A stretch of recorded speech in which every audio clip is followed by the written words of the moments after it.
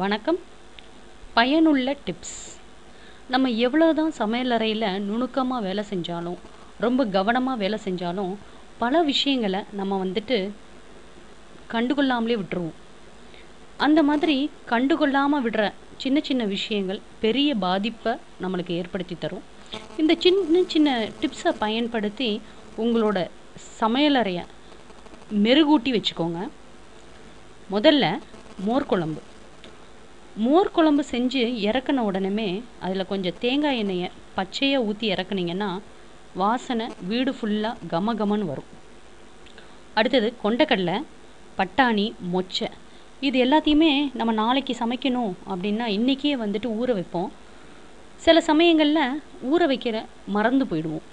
அந்த மாதிரி முந்தைய நாள் ஊற வைக்க மறந்து போயிட்டோன்னா கொண்டக்கடலையாக இருந்தாலும் சரி பட்டாணையாக இருந்தாலும் சரி மொச்சையாக இருந்தாலும் சரி அதை எண்ணெய் விடாமல் வெறும் வானலில் போட்டு கொஞ்சம் நேரம் வறுத்துட்டு அதுக்கப்புறமா நீங்கள் குக்கரில் வேக வச்சிங்கன்னா நல்லா வெந்து போகும். தோசை மாவு. தோசை மாவு அரைக்கும் போது கொஞ்சம் கடலைப்பருப்பையும் சேர்த்து அரைச்சிங்கன்னா தோசை நல்லா பொன்னிறமாக வரும். ஹோட்டலில் சாப்பிட்ற மாதிரியே வீட்லேயே நம்ம தயாரித்து சாப்பிட்லாம். அதே மாதிரி வெந்தய பொடி வெந்தய பொடியை தோசை மாவில் சேர்த்து நீங்கள் அரைக்கும் போது இல்லை ஊற்றுறதுக்கு முன்னாடி கொஞ்சம் பொடியாகவே தூவிட்டிங்கன்னா தோசையோட வாசனை கமகமன் வரும். அடுத்தது மிளகாயை பொடிக்கு வறுப்போம். அதாவது இட்லி பொடியாக இருந்தாலும் சரி இல்லை வந்துட்டு சாம்பார் பொடி அந்த மாதிரி பொடிகளுக்கு வறுக்கும்போது கொஞ்சம் நல்லெண்ணெய் ஊற்றி அந்த மிளகாயை வறுத்திங்கன்னா அந்த மிளகாயோட கமரல் வந்து இருக்காது. அதோட பொடியும் கமகமன்னு வாசமாக இருக்கும்.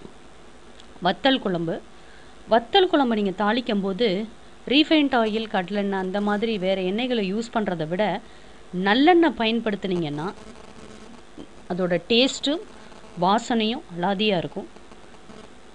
டீத்தூள் வச்சுருக்கிற பாட்டிலில் உபயோகப்படுத்தின ஏலக்காய் தோள்கள் அதாவது எப்பொழுதுமே ஒரு பாயாசத்துக்கோ ஒரு கேசரிக்கோ போட போது நம்ம முழுசாக போடாமல் அதில் உள்ளார இருக்கிற அந்த கருப்பு விதைகளை மட்டும்தான் பயன்படுத்துவோம். மீதி இருக்கிற அந்த தோலை வந்துட்டு அதாவது ஏலக்காயோட தோலை நம்ம குப்பையில் போட்டுருவோம். அந்த மாதிரி போடாமல் டீ தூள் இருக்கிற பாட்டிலில் அந்த தோள்களை போட்டு வச்சிங்கன்னா நீங்கள் டீ போடும்போது அந்த ஏலக்காயோட வாசனை சேர்ந்து ஏலக்காய் டீ மணமாக சுவையாக இருக்கும். அது மாதிரி மழை குளிர்காலங்களில் பார்த்திங்கன்னா நம்ம வடகம் போட்டு வச்சுருப்போம். வெயில் காலங்களில் வடகம் போட்டு வச்சுருந்தது மழைக்காலங்களில் என்ன ஆகிடும்னா நமத்து போயிடும் அந்த மாதிரி நமத்து போயிடுச்சு அப்படின்னா அந்த வடகத்தை எண்ணெயில் போட்டு பொரிக்காமல் அதுக்கு முன்னாடி வெறும் வானலில் சூடாக அந்த வடகத்தை போட்டு கொஞ்சம் ரெண்டு நிமிஷம் பெரட்டி பெரட்டி எடுத்துட்டு அதுக்கப்புறமா எண்ணெயில் பொரித்து எடுத்திங்கன்னா ரொம்ப நமத்து போகாமல் நல்லா பொரியும். தேங்காய் சட்னி. தேங்காய் சட்னியோட எப்போதுமே வந்துட்டு ஒரு பிளெயினான ஒரு தேங்காய் சட்னியை செய்கிறத விட தேங்காய் சட்னிக்கு ஈக்குவ அதாவது எடுக்கக்கூடிய தேங்காய்க்கு ஈக்குவலான அளவு நம்ம கொத்தமல்லி தழை. சேர்த்து அரைச்சி சாப்பிட்டிங்கன்னா ருசியும் சூப்பராக இருக்கும். அந்த கொத்தமல்லி உடலுக்கும் ரொம்ப நல்லது. அடுத்து வெங்காய ஊத்தாப்பம். வெங்காய ஊத்தப்பம் செய்யும்போது ரெண்டு பக்கமும் நல்லா வெந்து நல்லா பொன்னிறமாக இருந்தால் தான் அந்த ஊத்தப்பம் பார்க்குறதுக்கும் நல்லாயிருக்கும் சுவையாகவும் இருக்கும். அந்த மாதிரி ஊத்தப்பம் எப்படி வந்துட்டு நம்ம செய்கிறது நல்லா மொத்தமாக தோசை ஊற்றின பிறகு நடுவில் கொஞ்சோண்டு ஒரு சின்ன ஓட்டை போட்டு அதில் நீங்கள் எண்ணெயை ஊற்றுனீங்கன்னா உங்களோட ஊத்தப்பம் விரைவாக வெந்துடும் சுவையும் சூப்பராக இருக்கும். தோசைக்கு ஊற வைக்கும்போது ஒரு கிலோ இப்போ நீங்கள் ஊற வைக்கிறீங்க அரிசி அப்படின்னா அதில் ஐம்பது கிராம் வேர்க்கடலை ஐம்பது கிராம் பட்டாணி இது ரெண்டுத்தையும் சேர்த்து அந்த அரிசியோடு ஊற வச்சு அந்த மாவில் வந்துட்டு நம்ம தோசை சுடும்போது சுவை அதிகமாக சத்து நிறைஞ்ச தோசையாக இருக்கும். மாதிரி சமைக்கிற சாதம் மிஞ்சி போயிடும். அதை நம்ம தண்ணி ஊற்றி என்ன செஞ்சுருவோம்? பழைய சாதம்னு ஒதுக்கி வச்சுருவோம். அதை அடுத்த நாள் கூட நம்ம சாப்பிட மாட்டோம். கீழே தான் எடுத்து ஊற்றுற மாதிரி ஒரு சூழ்நிலை ஏற்படும். சமைத்த சாதம் மிஞ்சி போயிடுச்சுன்னா கவலைப்படாதீங்க.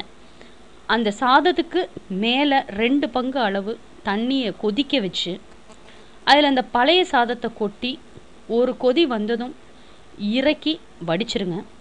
வடிச்சிட்ட பிறகு திரும்ப ஒரு அஞ்சு நிமிஷம் அந்த வெறும் ச சாதத்தை வந்து அடுப்பில் வச்சு இறக்கினீங்கன்னா நீர் பசை அகன்று புதிதாக சமைத்தது போல் இருக்கும். அது மாதிரி வீட்டில் ஜாம் செய்வோம். ஜாம் செய்யும்போது தக்காளி ஜாம் செய்யும்போது ரொம்ப பழமாக எடுத்துட்டிங்கன்னா உங்களை உங்களோட ஜாம் வந்துட்டு சீக்கிரமாக கெட்டு போயிடும் கொஞ்சம்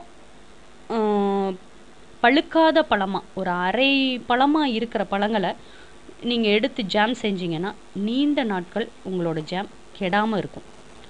அடுத்து காலிஃப்ளவர் எல்லாத்துக்குமே பிடித்த உணவு வந்துட்டு காலிஃப்ளவர் க்ளா காலிஃப்ளவரை நீங்கள் வந்துட்டு சமைக்கிறதுக்கு முன்னாடி கொஞ்சம் கொதிக்கிற தண்ணியில் உப்பு போட்டு அதில் நீங்கள் வந்து கொஞ்ச நேரம் ஒரு அஞ்சு நிமிஷம் அந்த காலிஃப்ளவரை வந்துட்டு முக்கி வச்சுருந்தீங்கன்னா அதில் இருக்கிற பூச்சி கண்ணுக்கு தெரியாத சின்ன பூச்சிகள் கூட உங்களோட அந்த காலிஃப்ளவர்லேருந்து விலகி போயிடும். மேலும் இது போன்ற சின்ன சின்ன டிப்ஸ் தெரிஞ்சுக்கிறதுக்கு சேனலை சப்ஸ்கிரைப் பண்ணுங்கள் நன்றி வணக்கம்.